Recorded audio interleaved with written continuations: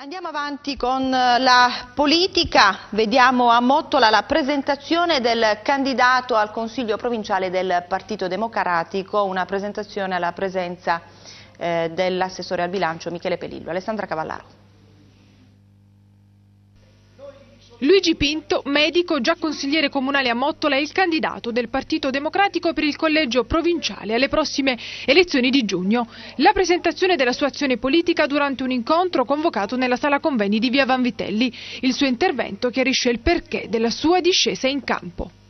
Io ho accettato questa candidatura, l'ho accettata come espressione di un momento di sintesi, consentitemi che quindi io abbia accettato in questa maniera che sia una candidatura che rappresenti l'unità del Partito Democratico e un'unità duratura.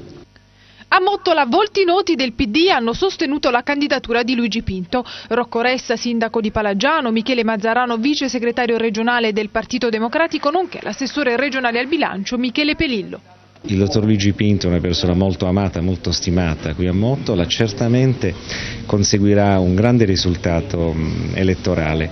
Allora vedo il mix giusto, quindi i giovani che cominciano ad assumersi responsabilità, il partito insieme ai vecchi che è tutto unito intorno a una candidatura di una persona molto stimata, di un professionista che opera da tanto tempo molto bene su questo territorio.